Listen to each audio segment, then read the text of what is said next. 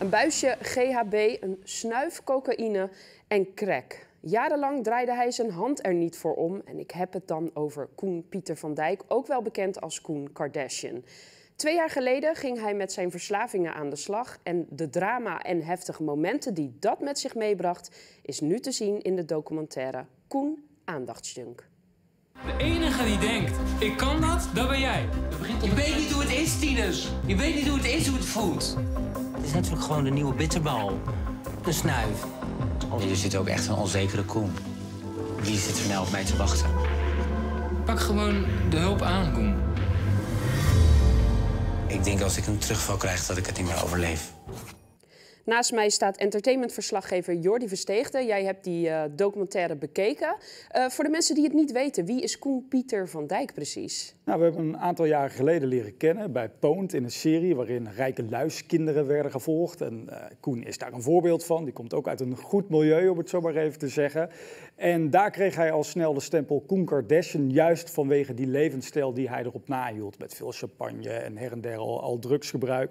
En zo hebben we hem eigenlijk leren kennen. En later is hij ook gewoon een grote influencer geworden. Ja, en presentator bij MTV uh, weet ik ook nog van een aantal programma's. Um, hij is 30. Ja. Wordt bijna 31, uh, heeft al een documentaire, uh, heeft een biografie geschreven, heeft eigenlijk al best wel heel veel meegemaakt in zijn leven. Mm -hmm. In deze docu volgen we hem dat hij in twee jaar tijd zijn leven eigenlijk weer een beetje op de rit probeert te krijgen. Ja. Uh, wat, wat, ja, hoe erg was het? Ontzettend erg. We, we, zien eigenlijk zijn hele levenspad verspreid over die drie afleveringen.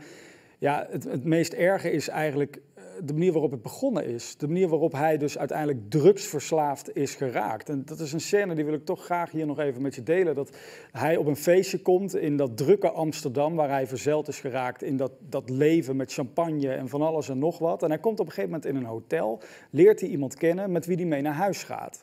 Er is een man die stopt direct als ze bij hem thuis zijn een buis in Koen zijn neus.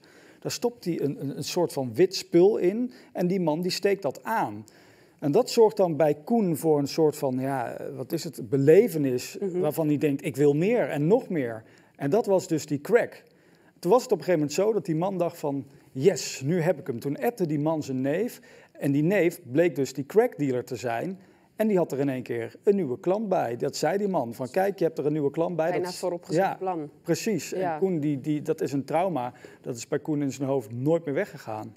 Ja, um, in de docu uh, komt ook wel naar voren hoe die problemen dan uh, allemaal zijn ontstaan. Je zegt ja, ja dat, dat influencerleventje, dat ja, is niet heel uh, bevorderlijk geweest voor, voor wat er allemaal is gebeurd. Maar, maar waar ligt nou de grondslag aan die problemen? Nou, die ligt natuurlijk altijd wel in de jeugd van mensen. Het is niet zo dat hij in een slecht milieu is opgegroeid. Ik zei het al, hij is een rijke luiskind. Ja. Maar hij was wel een jongetje dat worstelde met zijn seksualiteit... en daar eigenlijk niet zo goed voor uit durfde te komen.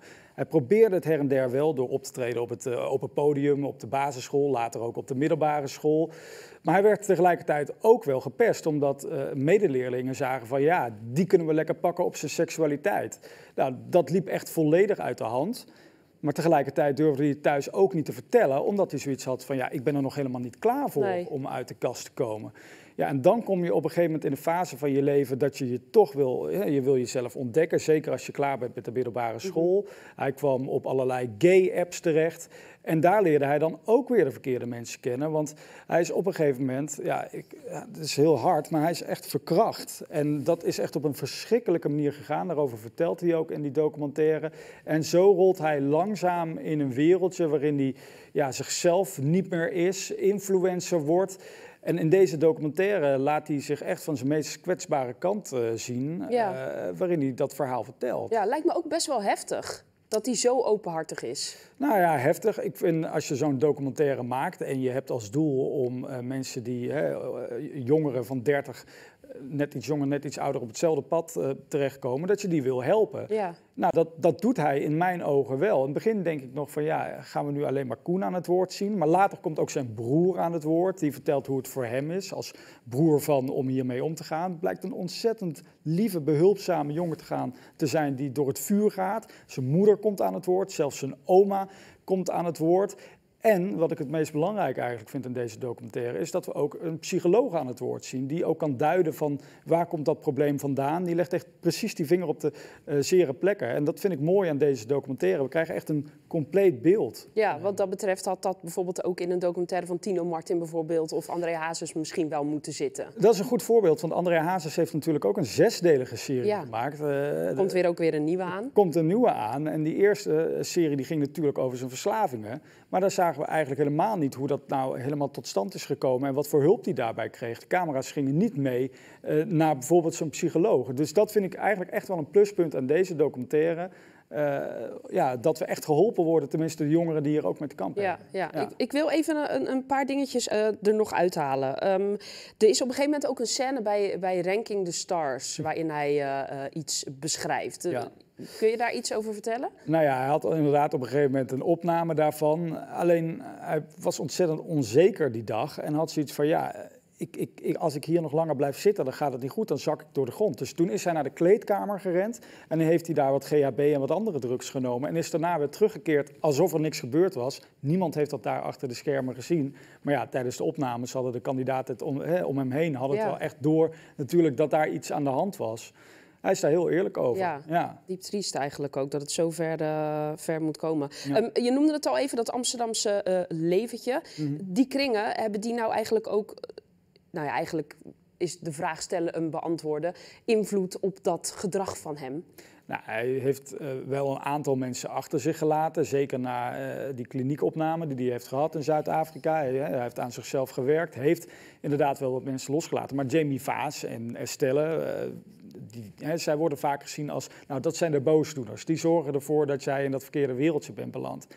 Hij zelf ontkent dat. Hij heeft op een gegeven moment ook echt een scène op Ibiza op het strand of all places, dat ze daar rondlopen. En dan zegt hij van ja, veel mensen denken dat het aan Jamie ligt dat ik dit leventje leid. Maar zij is juist degene, Jamie Vaas, die mij helpt. Die mij wel eens van afterparties, van afterparties, van afterparties afhaalt. Want zo lang gaat hij door, soms ja. wel zes dagen achter elkaar met dat spul. Dus hij probeert ook echt te zeggen van dat zijn niet de mensen die mij op het verkeerde pad hebben uh, gebracht. Tegelijkertijd zeggen zijn broer en ook zijn moeder dan weer wel dat hij van sommige mensen nog afscheid moet nemen. En dan lijkt het, als je die documentaire kijkt, dat zij verwijzen naar Estelle en Jamie. Dat zou dan ook de reden zijn dat zij, uh, en Jamie, niet op de première zijn geweest. Dat daar wat speelt, dat zij absoluut niet blij zijn uh, over de manier waarop ja. zij zijn neergezet. Ja. Ik heb ook nog contact proberen te zoeken met Jamie uh, om dat verhaal te verifiëren. Zij reageert nu verder niet. Maar we zien op foto's van, van die première dat zij niet te zien zijn. Dus dat zegt mij wel genoeg. Ja. ja. ja. Je hebt die docu gekeken. Wat is dan uh, het beeld van Koen wat bij jou blijft hangen? Ja, dat hij extreem veel drugs gebruikt. Dat ik denk van, jeetje, hoe, hoe doe je dat? Uh, en wat zielig eigenlijk. En ja, dat zielige heb ik sowieso wel. Omdat ik, als ik alles bij elkaar optel in die drie afleveringen, is het eigenlijk een, een cirkeltje. Hij is uh, uh, aandachtsjunk, zo heet de documentaire ook. En ja, om die aandacht te krijgen is hij constant bezig om in de belangstelling te staan. En dat zorgt er dan ook wel weer voor dat hij, eh, doordat in de belangstelling staan, ook veel vrije tijd heeft. Daardoor wordt hij drugsverslaafd. En dat is een soort van cirkeltje waar hij volgens mij niet uitkomt op het moment dat hij nog doorgaat met het leiden van dit leven. Zijn moeder zegt ook in die documentaire van, ik hoop dat hij op een gegeven moment gewoon een, een, een baan gaat zoeken. Ja, gewoon een normale baan. Een, een, normale baan. Ik wil daarmee niet zeggen dat influencers niet hard werken, want de hele dag maar bezig zijn met het perfecte plaatsen. Het kan soms echt wel wat tijd kosten, maar wat zij natuurlijk gewoon bedoelt is uh, ga in, in, een koffiezaak werken of zo. Of uh, sluit dat social media af. En ik hoop dat hij daarna luistert, want zijn moeder is uiteindelijk natuurlijk wel degene die het kan weten. Zo is het. Jordi Versteegde, dankjewel.